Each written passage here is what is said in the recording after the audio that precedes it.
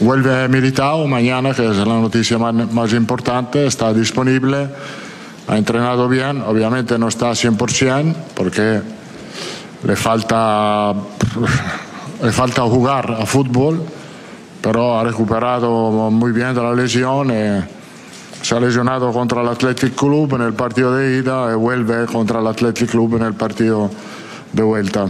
Eh, es una muy buena noticia para nosotros.